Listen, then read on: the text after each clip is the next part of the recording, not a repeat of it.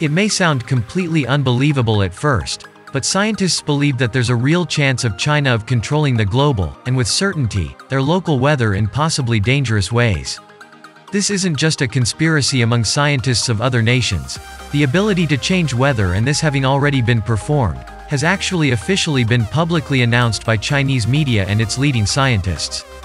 Welcome to today's episode of AI News. In this episode, I will show you where China is officially using their new weather-changing technologies, how this actually works in the first place, and finally, what this could mean on both a national and a global scale if China has been using this to influence the temperature, whether it rains or possibly even influence catastrophic events such as tornadoes.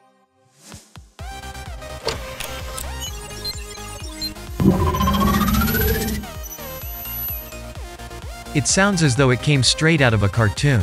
But China has had one of the most advanced weather modification programs in the world for decades. Its objectives have been modest in general. More rain in parched areas, less field-destroying hail, and bright days for major national events. However, that modesty is beginning to wear thin. China revealed intentions earlier this month to increase its rainmaking capacity to cover about 60% of the country by 2025. Although details are scarce, concerns are growing regarding potential military applications of these capabilities, as well as their impact on an already changing environment. These problems must be addressed as quickly as possible for China and the rest of the globe.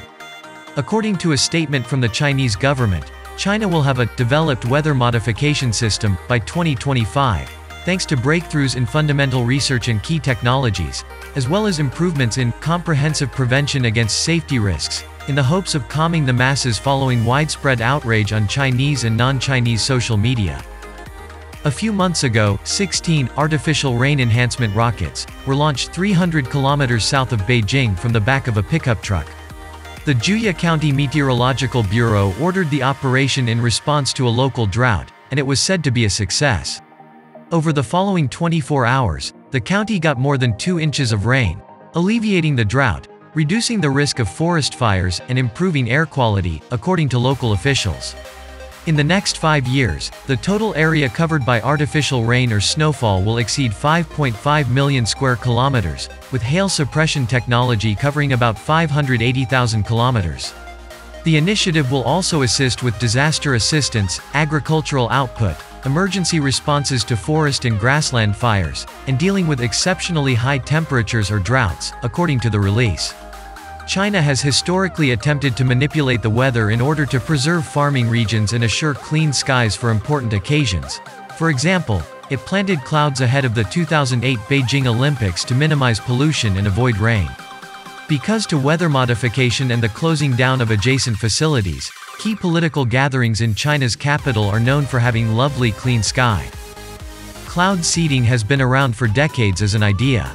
Small quantities of silver iodide are injected into clouds with a lot of moisture, which subsequently condenses around the new particles, growing heavier and finally dropping as precipitation. Cloud seeding can enhance snowfall across a large region if the atmospheric circumstances are appropriate, according to a study financed by the U.S. National Science Foundation and published earlier this year.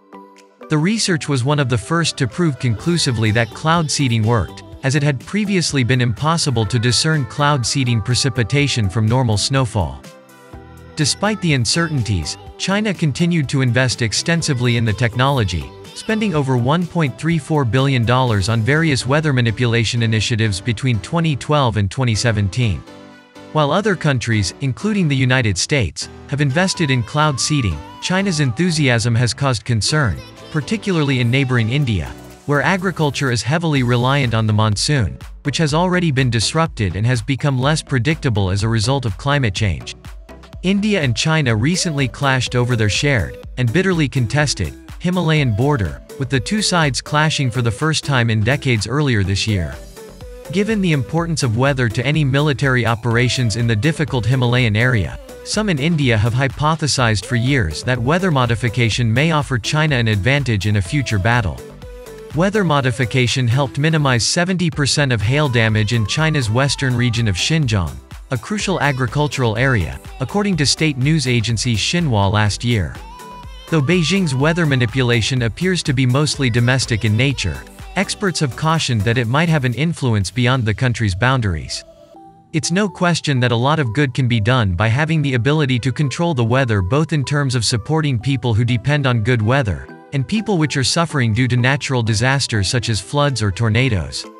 The question is rather, whether or not China, or any other nation for that matter would resist the urges to quietly influence other countries' weather to give themselves any sort of advantage compared to them. Researchers from National Taiwan University said last year that the lack of effective coordination of weather modification activities might lead to accusations of rain stealing between adjacent regions, both inside China and with foreign nations. They also cited the lack of a system of checks and balances to help with the execution of potentially contentious initiatives. In China, there is no debate or public discussion about the scientific evidence and political basis for weather modification. Furthermore, opposing perspectives seldom question the leadership's proclivity for technical involvement in controlling various weather systems. Some analysts believe that success in weather manipulation might inspire China to pursue more extensive geoengineering initiatives, especially as the government grapples with climate change's consequences. Radical ideas like seeding the atmosphere with reflecting particles may potentially help lower temperatures, but they could also have huge unintended consequences, and many scientists are concerned about what would happen if a government tried them. According to Dhanasree Jayaram, a climate specialist from the Manipal Academy of Higher Education in Karnataka, India, without regulation, one country's actions might influence neighboring countries. While China has not yet demonstrated a willingness to deploy large-scale geoengineering schemes to combat the effects of climate change and meet its Paris targets, the scale of its weather modification and other massive engineering projects, such as mega dam projects, such as the Three Gorges, suggests China is willing to do so. Despite the fact that China joined the pact in 2005, its interest in weather and environmental management has not waned. Hail and flooding caused by natural disasters account for more than 70% of the country's yearly disaster-related damage. The administration has bet its credibility in part on how successfully it reacts to similar occurrences as a result of the ongoing toll. As the country has become wealthy in recent decades, earth-altering projects like the Three Gorges Dam have become popular. By comparison, weather modification is a comparatively low-cost option. The government began investing heavily in cloud physics and related disciplines in the 1980s. Advances in everything from satellites to rocketry aided the endeavor, despite the fact that solid scientific confirmation of cloud seeding's efficiency did not come until 2018.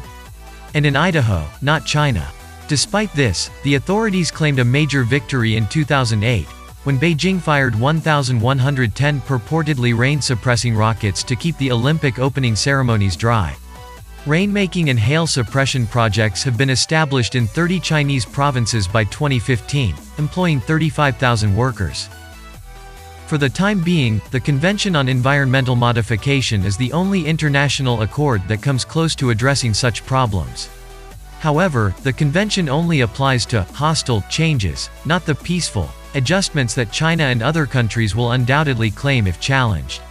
Making weather manipulation a part of the climate change conversation is one approach to get around this difficulty. In the sense that technology is being utilized to mitigate the harmful consequences of global warming, it is already being done. Future discussions on the subject, however, should avoid unilateral measures. Instead, they should promote international cooperation on weather modification, including data exchange. It will be difficult to persuade China and others to disclose their technology and objectives. However, unless the world addresses this impending problem, it may face some black skies in the future. So what is your opinion on nations or people having the ability to globally change the weather? Do you believe that because of the dangers which are involved in having such power, this should be treated similar to nuclear weapons, or do you think that having the ability to do things such as supporting poor farmers which are struggling due to bad weather outweighs the bad? Please tell us your opinion in the comment section below. I would love to hear what you have to say about it. Thank you for watching AI News. We consistently report on the newest technologies that are shaping the future of our world. We'd appreciate you subscribing and watching our other videos. See you around and take care.